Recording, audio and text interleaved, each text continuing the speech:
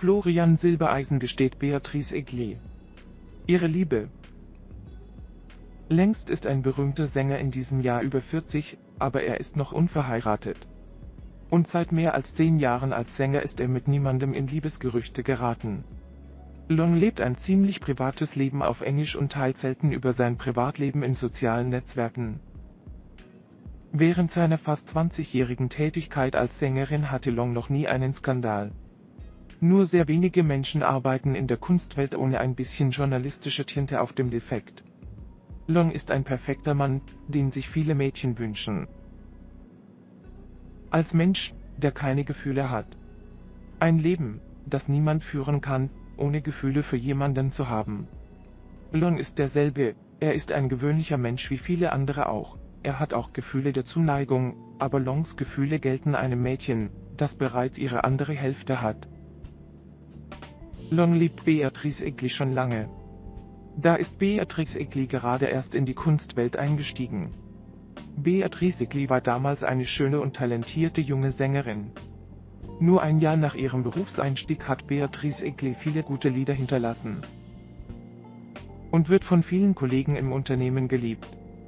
Und Long ist keine Ausnahme, er hilft Beatrice Egli oft bei der Arbeit.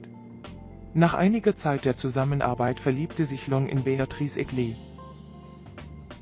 Aber als er seine Gefühle gestehen wollte, entdeckte er, dass Beatrice Egli eine Geliebte hatte, und behielt sie in seinem Herzen, ohne es zu sagen.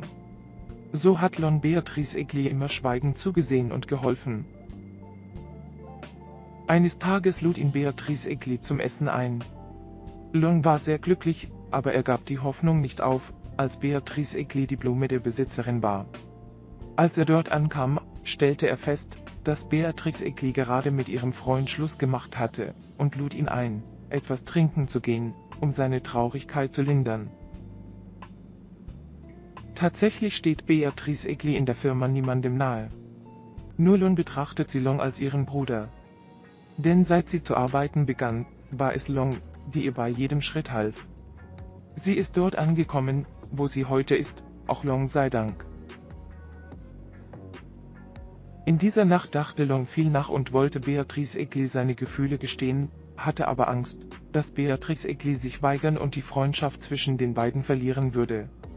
Aber er wusste, dass er sie nicht bekommen würde, wenn er es ihr nicht sagte, also beschloss Long, Beatrice Egli seine Gefühle zu gestehen. Danke, dass du hier weitergehst.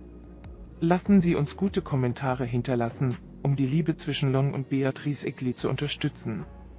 Lasst uns sie segnen und eine unterstützende Familie für Long und Beatrice Egli aufbauen. Und vergesst nicht, uns unten zu folgen, um uns dabei zu unterstützen, weitere Liebesvideos zwischen Long und Beatrice Egli zu machen.